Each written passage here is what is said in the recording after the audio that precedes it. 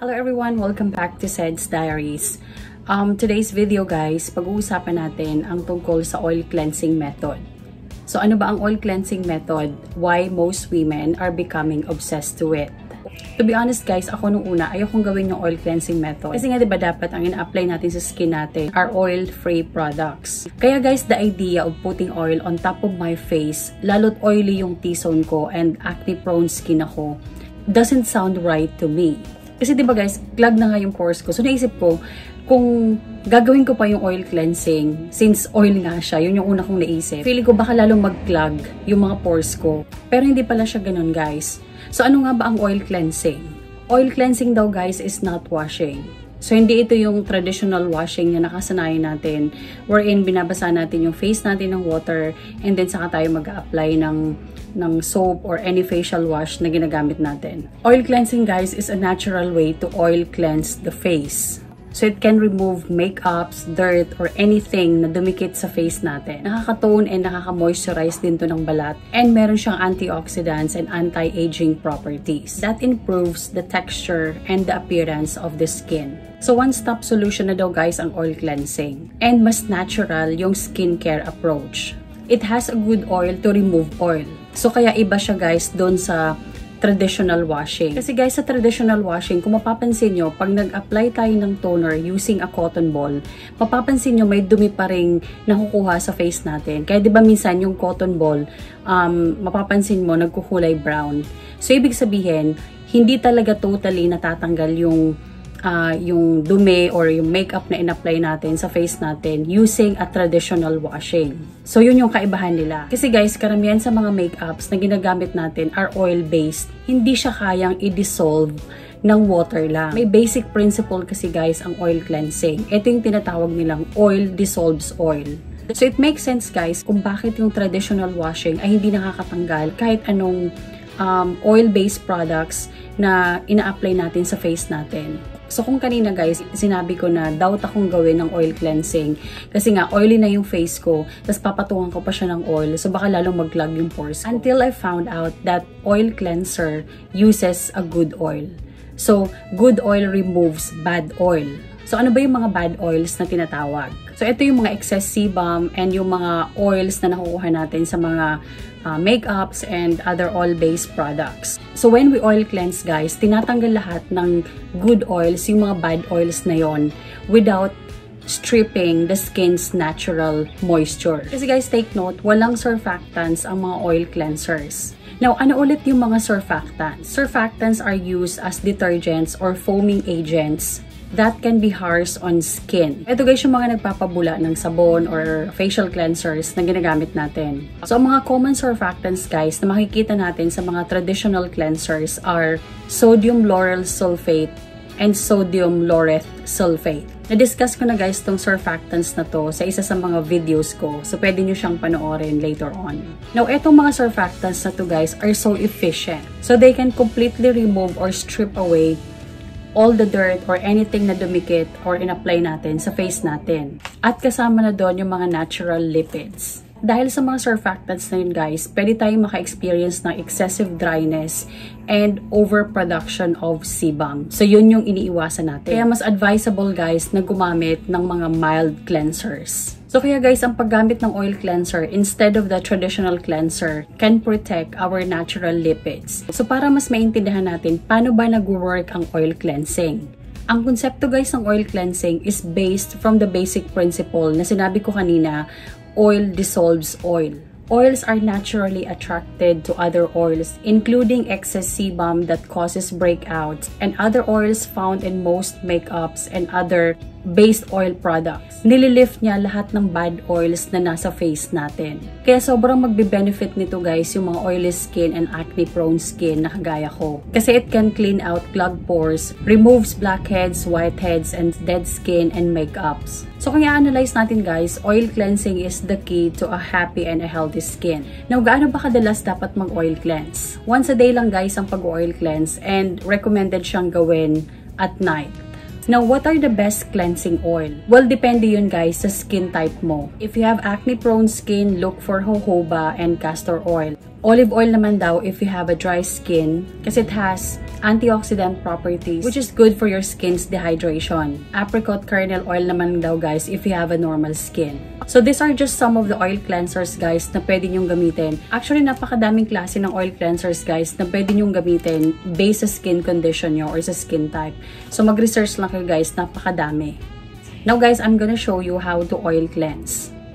So, dapat uh, dry lang yung hands natin. Ganon din yung face. So, hindi natin siya babasain. So, meron akong dalawang klaseng brands ng oil cleansers. Ito yung pinakaunang oil cleanser, guys, na trinay ko from the Face Shop. So, it's a rice water bright light cleansing oil. So, yun ang nagustuhan ko dito, guys. Dahil rice water cleansing oil siya, hindi siya malagkit sa skin. And it comes with jojoba oil, which is good for acne-prone skin.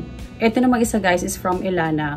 Jojoba oil din to. Sa dalawang to guys, ito yung mas madalas kong gamitin. Kasi nga nagustuhan ko dito, hindi siya malagkit sa, sa balat. Para lang siyang water na minamassage mo sa skin mo. So ito naman madalas ko siyang gamitin pag nagme-makeup ako and pag nagkakaroon ako ng breakouts. Kasi ito guys, pure jojoba oil talaga to. Hindi na ako masyadong nagbe-breakouts mula nung uh, nag-oil cleanse ako guys. So for today guys, ito muna yung gagamitin ko. So, maglalagay lang kayo guys at least 1 to 2 teaspoons sa, sa kamay nyo. And then, yun na yung um, imamassage nyo sa face. So, yun guys.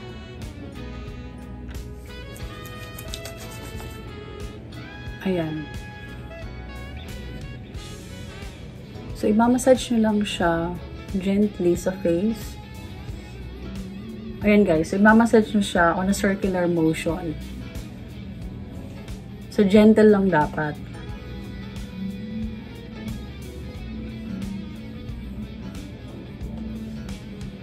You can do it guys for like 2 minutes.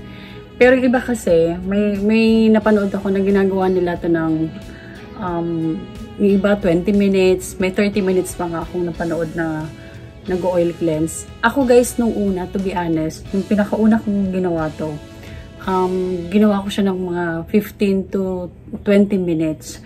Kasi, bakit? Um, sobra akong na-overwhelm guys nung ginagawa ko to. Kasi sobrang daming lumabas na blackheads sa, sa face ko na hindi ko ini-expect na mangyayari talaga siya. Yung mga napapanood ko dati, parang sabi ko, hindi naman yata totoo yun, na may mga blackheads na lumalabas. Pero totoo guys. So kaya siya maganda sa mga acne prone skin, sa saka sa mga clogged pores. Kasi nililift niya talaga lahat ng excess oil na meron tayo sa face. And then yun nga, blackheads, whiteheads, and all that. So lahat yun, lahat yun ililift niya. So dati guys, dito ako madalas nagkaka-pimples sa chin area kasi cause din kasi yun ng pagsusuot ng mask. So, sobrang nag-struggle ako sa pimples ko dito sa area na to. Pero, pero yun nga, I've noticed guys, nung nag-oil cleanse ako, hindi na ako masyadong nagkaka-pimples dito sa, sa part na to. Although paminsan-minsan nagkakaroon pa rin naman. Like ngayon, ayan o, meron akong isang pimple dito. Pero hindi na talaga siya ganon uh, kagrabe, kamukha nung dati. So, kamukha yung sinabi ko kanina, yung mga unang try ko nito, ginagawa ko siya ng um, 15 to 20 minutes. Pero guys, ang na-notice ko kasi, um, although yun nga, so, natatanggal talaga yung mga blackheads na habang ginagawa mo siya ng matagal. Pero, um, ang na-notice ko sa skin ko that time, parang mas na-irritate siya. So, yun ang na-found out ko. Ang ginawa ko, ni-stop ko muna siya and then nag-research ako bakit mas na-irritate yung skin ko nung ginagawa ko siya. I found out guys na ang nag-cause ng irritation doon is hindi yung hindi yung oil mismo eh, kundi yung kung paano ko siya ginawa. Kasi ang skin pala natin, um, hindi natin siya pwedeng i-rub ng sobra. Kasi the more na nararub siya ng, ng sobra, ng matagal, nagkukos din siya ng irritation. So, yun nangyari sa akin, na-irritate yung face ko sa sobrang tagal ko siyang nirarub dahil nga uh, na-enjoy ko nga siya, na-overwhelm ako kasi the more na nirarab mo siya ng, alam mo yung paulit-ulit and then matagal, mas grabing, alam mo yon blackheads, whiteheads yung makukuha mo talaga. Sobrang enjoy ako dun sa, sa part na yun, guys.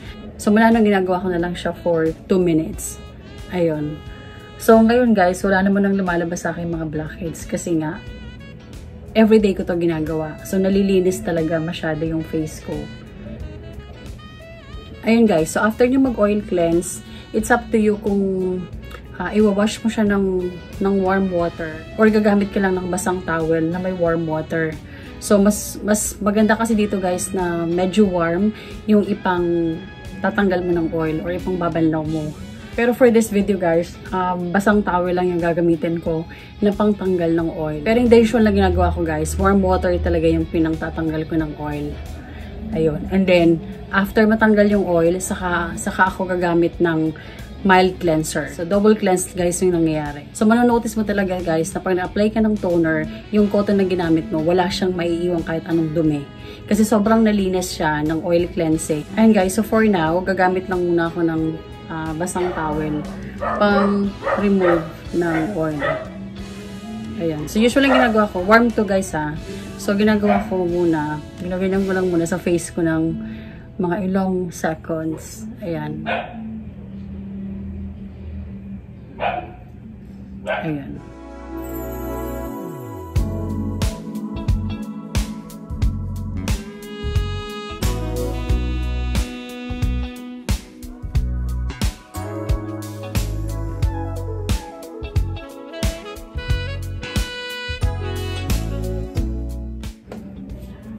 Ayan guys, so nakapag-oil cleanse na ako. Ganun na siya kasimple. Ayan o, oh, natanggal na yung uh, makeup sa face ko. Ayan guys, so sabi ko kanina after nyo mag-oil cleanse, uh, pwede na kayo mag-wash ng face nyo using the traditional um, facial cleansers. I would suggest guys na gumamit kayo ng mild cleanser. Ako, madalas kong ginagamit talaga Cetaphil cleanser. Ayun guys, sobrang sarap ng feeling, sobrang gaan sa skin. Um, hindi mo siya, hindi mo feel yung parang nagta-tight yung skin mo after mo mag-wash. Kasi yung ganong feeling guys, na parang nagta-tighten yung skin mo after mag-wash, cause yun ng mga harmful ingredients na meron yung cleanser. Kaya mas ina-advise na mild cleanser ang gamitin natin. So try nyo mag-oil cleansing guys, promise, makikita nyo talaga yung uh, magandang benefits sa skin. That's all for today, guys. I hope you learned something from this video. So thank you so much again, guys, for watching. Bye for now.